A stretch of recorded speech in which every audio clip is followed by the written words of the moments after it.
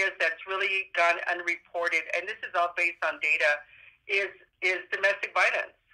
Um, when it comes to the Hispanic population, that's one area that's that goes that's highly unreported. And the Idaho Commission on Hispanic Affairs is partnering with law enforcement like the Twin Falls Police Department to make sure this problem doesn't continue.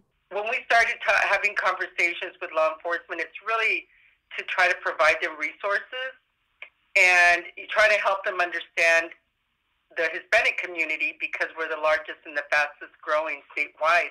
Uh, we learned a lot about uh, maybe communication differences between different cultures. Um, we learned a, a lot about um, making those connections before a major incident would arise, right?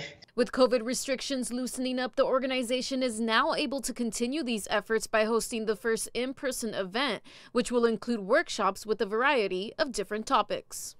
Um, one of the um, the main topics is going to be implicit bias, but we'll also be touching on cultural um, sensitivity, working with communities of color. Um, so, but those are the main. One of the main topics is implicit bias. Stephanie Garibay, Idaho News Six.